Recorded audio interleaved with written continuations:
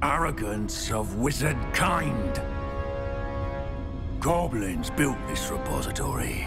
It belongs to us. Enough, Ranrock. It was never yours. I've been wanting to play with this. Miriam's wand. If she'd simply handed over the container, all of this could have been avoided. Foolish, self-important witch. Seems you're two of a kind. She didn't know when to give up either.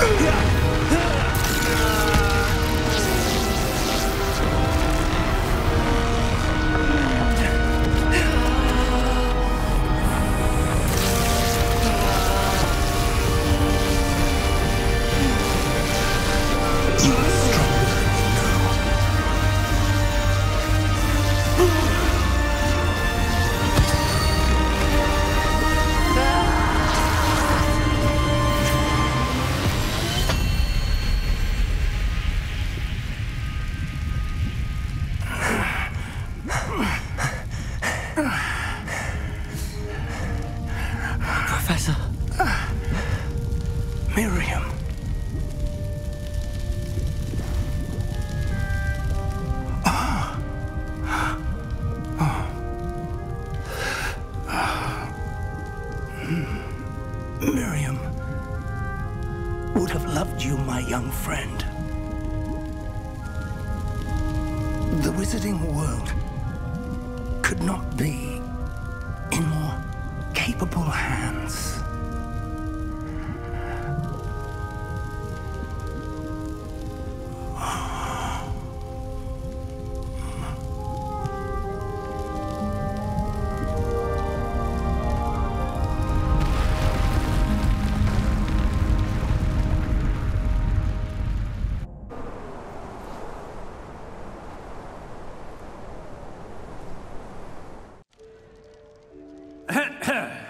Professor Eleazar Fig. I dare say he was a beloved professor to many of you, certainly a long-standing colleague to his peers. A famed adventurer and seeker of knowledge, he built a reputation charging into the unknown, brazenly disregarding both discretion and safety, providing perhaps a rather unfortunate lesson for us all.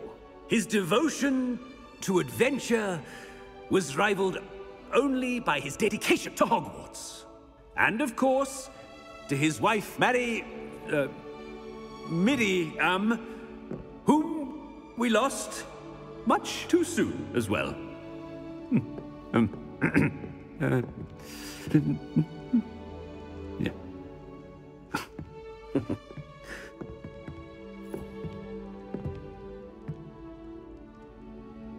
Professor Fig represented the best of all of us. Oh, he could be deviously clever, possessed a brilliantly inquisitive mind, and was the most loyal of friends. But perhaps it was his remarkable courage, for which we will all be forever indebted to him. If not for Professor Fig.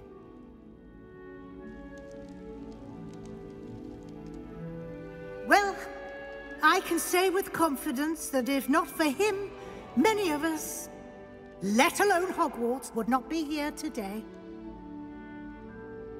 Those that knew him best will agree that we must now honor him as only Hogwarts can, by wisely, resourcefully, justly, and bravely facing all that lies ahead. to Professor Fig!